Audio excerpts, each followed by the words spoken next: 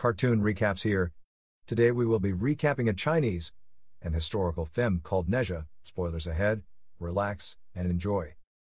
The movie begins with an existence called the Chaos Pearl. This is a form that was birthed from ancient essences. Two brothers called Tai Yi and Shen Gongbao were sent by their master, Tian Zun, to subdue the Chaos Pearl. Due to the Chaos Pearl's ability to absorb energy, Tai Yi and Shen cannot defeat it no matter how hard they try. Eventually, Tianzun captures the Chaos Pearl and then separates the pearl into two opposite parts the Spirit Pearl and the Demon Pill. Tianzun then places a curse upon the Demon Pill that a powerful lightning will strike and will destroy it in three years' time. Tianzun chooses Tai Yi over Shen to take the Spirit Pearl to be reincarnated as the third son of Li Jing, and he is to be named Nezha. Shen conspired to steal the Demon Orb and Spirit Pearl. He placed a slave seal on one of Li Jing's servants in an attempt to steal both of the parts.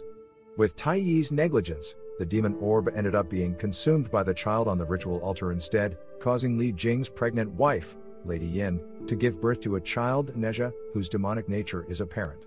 Tai Yi tells them that Nezha's fate is sealed. In three years' time, the divine curse placed upon the demonic orb will kill him regardless of being consumed with the demon orb's power when it escapes from Tai Yi's protection. Thus Nezha, as a baby, went entirely out of control until Tai Yi placed a ring around his neck, limiting his powers and keeping him the size of a toddler. But, despite his size, Nezha still remains far more stronger than an average human being.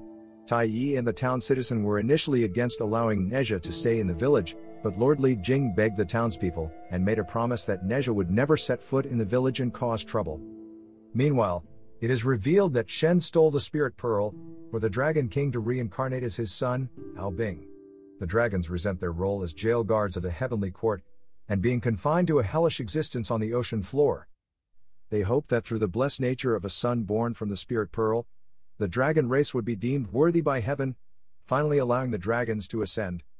The Dragon King will enable Shen to take Ao Bing as a student and nurture his skills.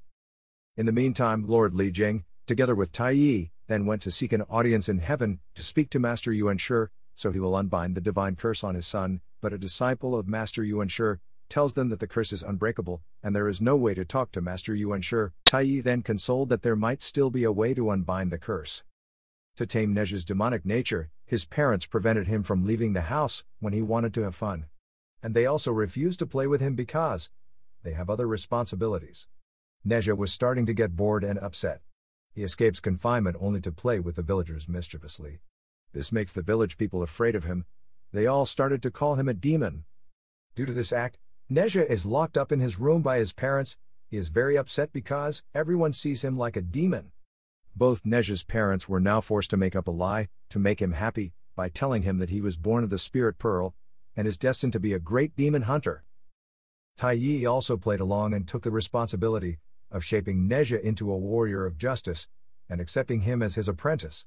Nezha studies under Tai Yi and acquires excellent skills that, even his master Tai Yi took a while to master.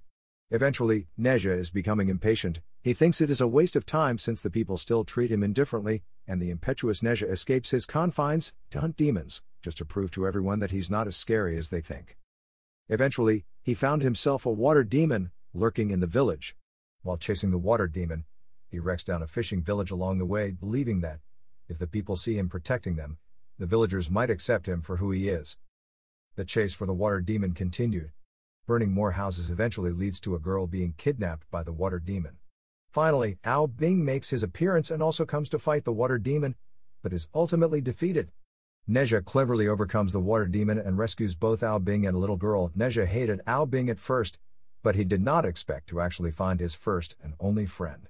Both played for a little while until the townsfolk came with paddles and pitchforks. Misunderstood. The townspeople accused Nezha of kidnapping the little girl and burning down the village. In a rage, Nezha lashes out at the villagers, hurting each of them, adding fuel to the flame. Luckily, Taiyi came to stop Nezha from causing more trouble. Meanwhile, deep underwater, where the dragons live. Ao Bing finally arrived and paid respect to the Dragon King and Shen, telling how he had progressed and met a friend, only to find out that the only friend was destined to be his sworn rival, the bearer of the demon pill. Ao Bing pleaded for Nezha to be granted redemption, but the Dragon King interrupted. In the times of antiquity, dragons were powerful beings, revered and worshipped. On behalf of the heavens, they fought monsters, subduing them into the oceans, earning them the title of Dragon Kings. The dragon told Ao Bing that this place was never a dragon palace but a prison. Gods use dragons to do the dirty work for them, convincing him that the spirit pearl is their only way to achieve freedom. Back in the village, the Li household organized a lavish birthday party for their son, inviting the nervous town to attend. Nezha enthusiastically went to ask Ao Bing since he is his only friend. No idea what is about to unfold. Shen secretly visits before the party, revealing that he is in the dark about the truth of his nature. Upset, Nezha still went to the party, not minding the crowd. He receives various gifts from his master on his way to his parents. Angry, he brought up to his parents how he knew everything about the lies on why he was being contained. He misunderstood that all his parents cared about was their reputation. Nezha broke from the ring on his neck and unleashed his true demonic form. Nezha was about to harm the townspeople when his father stopped him. Tai even joined in to contain Nezha from hurting anyone. They never knew that Shen secretly hid the ring from everyone while watching from afar. He was waiting for Nezha to cause havoc. Shen planned to wait until the lightning struck Nezha on his third birthday. That is when he wants Ao Bing to show himself, to be known as a hero who rescued the village from the demon, Nezha. Ao Bing could not stand watching his only friend kill his parents. He begged Shen if he could at least save his family and his master as the debt was being paid when Nezha once saved his life. Nezha is still in a heated battle against his father with the tip of the spear to his head, about to unleash fire when Tai rescues his father using his brush. Feeling annoyed, Nezha turned his ribbon to fight Tai. The battle leads his father helpless. His mother attempted to stop him, only to be pushed away. Nezha was about to send the fatal blow when a force stopped his spear. It was Ao Bing. Luckily, Ao Bing was able to hold on to Nezha. Tai then hastily casts a spell into the ring to finally return him back to normal. He's finally suppressed. Nezha wakes up surrounded by people and leaves without saying a word. Li Jing already suspected Ao Bing's origins. He had to put up a scene to expose him that he was the bearer of the Spirit Pearl. Shen told Ao Bing that if his deceit is revealed to Tianzun, then not only will he be punished, all of the dragon kind will be condemned forever. Ao Bing, not wanting to betray his kind, decides to bury the town alive under a massive sheet of ice, so there are no witnesses. Meanwhile, Nezha, away from the village, learns that while visiting heaven to plead for his life, his father sought an enchantment that would allow him to trade his life for Nezha's and even wanted to keep it a secret from his wife.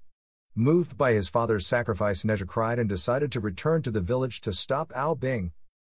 In time, Nezha was able to make it before Ao Bing turned his parents into ice. The battle commenced. Fire versus ice, Ao Bing told him that his powers would be limited as long as he had the ring on his neck. Stubborn Nezha refused to give up, insisting he would beat Ao Bing with or without the ring, and used underhanded tricks he learned from his master, Tai Yi. He disguised as Shen within the fog to fool Ao Bing. Meanwhile, within the fog, another battle is ongoing between their masters, Tai Yi and Shen Gongbao. Shen had the upper hand as Tai Yi tried to run away. Shen tried to chase him when he bumped into a doppelganger. It was Nezha disguised as him. Nezha then took the opportunity to switch their weapons to confuse Ao Bing to go against his master. Until he realized he'd been played. The fight continued between the four of them until Ao Bing decided to end it by covering the entire village with ice together with Nezha's parents. Nezha realized he would not be able to beat him with underhanded tricks this time. Unleashing his complete demonic form, Nezha rushed over the massive falling ice sheet. Ao Bing insisted on telling Nezha to stop struggling and accept his destiny as a demon. I'm the boss of my own destiny. I'll be the one who decides.